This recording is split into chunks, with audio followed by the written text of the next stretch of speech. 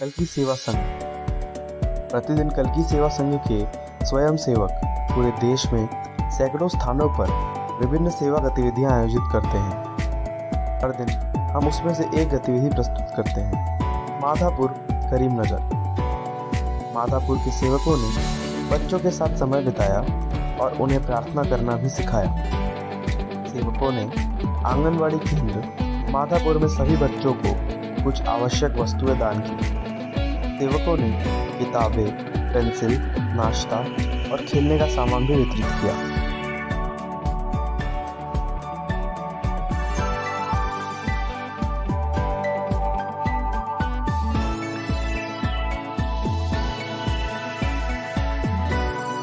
सभी बच्चे अपार हर्ष से भर गए और उन्होंने सेवकों को आभार व्यक्त किया।